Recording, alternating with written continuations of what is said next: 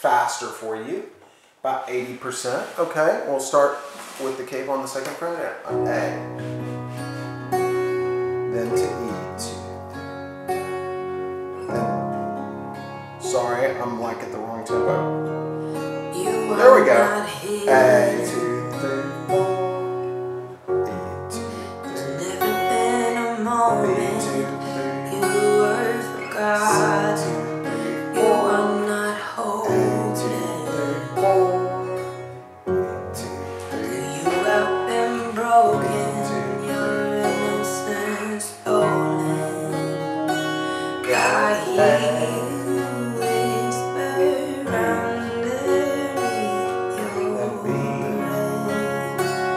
sharp. Very nice. And Stay on B right here. Now let's go down to E for the chorus. F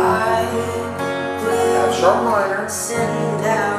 Let me pause it right there because look at this. Here's the trick. When you play E to F sharp minor, this pointer finger is staying on the same string. Look. Slide it up. Don't lift up that pointer finger. See? And it guides you there, okay? And then we're gonna go C sharp minor, okay? Here we go, sweet. C sharp. Send out an uh, Up and C sharp. You Down to A. middle of the dark C sharp. night. It's true. Then A.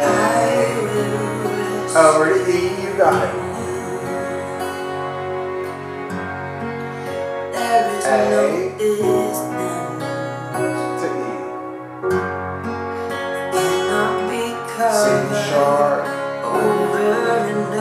Or B to C sharp, excuse me, I'm not even thinking A. Now to E. I'll call it out right. I'll C sharp minor. A. E.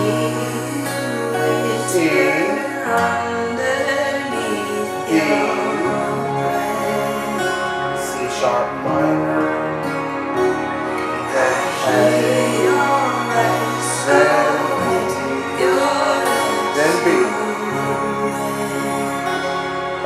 That's it. And now to E. E. Keep your pointer finger down, F sharp minor. down an army C sharp minor. you in the middle of the dark. C sharp, way back up there. There you go. A.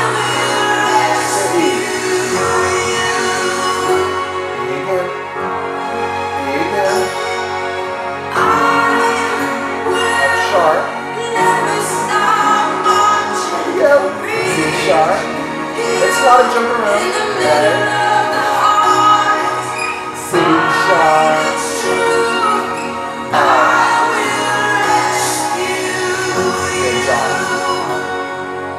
Good. I know you know it. It's just it's just a lot of jumping around. So you did well. Now here's the other thing, okay? Try to always make note of these these chords in your mind, the names of them, because you're good at memorizing stuff. So just remember that's F sharp minor, C sharp minor, and B. Those are weird names, but uh, that'll help you as you play through.